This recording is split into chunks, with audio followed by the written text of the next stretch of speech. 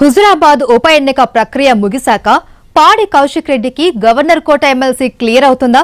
టీఆర్ఎస్లో చేరినప్పటి నుంచి వెయిట్ చేస్తున్న ఆయన ఇంకా ఎదురు చూడాలా? పార్టీ వర్గాల్లో జరుగుతున్న చర్చ ఏంటి?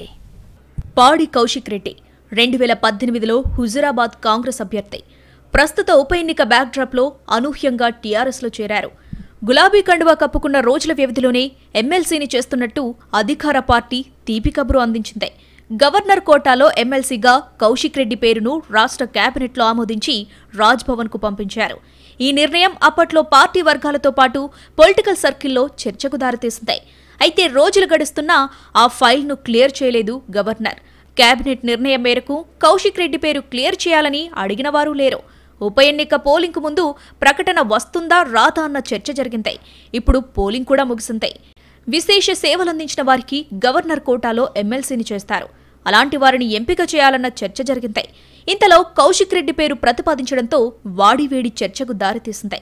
ప్రస్తుతం కౌశిక్ రెడ్డి పరిశీలనలోనే ఆగిపోయింది. ఆ మధ్య గవర్నర్ సైతం అదే విషయాన్ని స్పష్టం చేశారు. నవంబర్ రెండున హుజూరాబాద్ ఫలితం వస్తుంది. ఆ తర్వాతనైనా మోక్షం కలుగుతుందా లేదా అన్నది ఒక ప్రశ్న. హోరాహోరీగా సాగిన హుజూరాబాద్ ఉప ఎన్నిక ఫలితం పాడి కౌశిక్ రెడ్డి రాజకీయ భవిష్యత్తును తేల్చనుందని తాజాగా చర్చ మొదలైంది. ఆ ఫలితం ఆధారంగానే ఎమ్మెల్సీ పైన స్పష్టత రావచ్చని టీఆర్ఎస్ వర్గాలు అనుకుంటున్నాయి. దాంతో బరిలో ఉన్న గెల్లు శ్రీనివాస్ కంటే ఎక్కువ టెన్షన్లో కౌశిక్ రెడ్డి ఉన్నట్టు చెవులు కొరుక్కుంటున్నారు. హుజూరాబాద్ ఫలితం వచ్చాక కూడా పదవి దోబూచులాడుతుందా? లేక కొత్త పేరు తెరపైకి వస్తుందా అన్న ప్రశ్నలు వినిపిస్తున్నాయి. ఒకవేళ కొత్త వారికి ఛాన్స్ ఇస్తే కౌశిక్ రెడ్డి సంగతేంటన్నది చర్చే. మరి ఏం జరుగుతుందో? కౌశిక్ రెడ్డి పొలిటికల్ ఫిట్ ఎలా ఉందో కాలమే చెప్పాలి.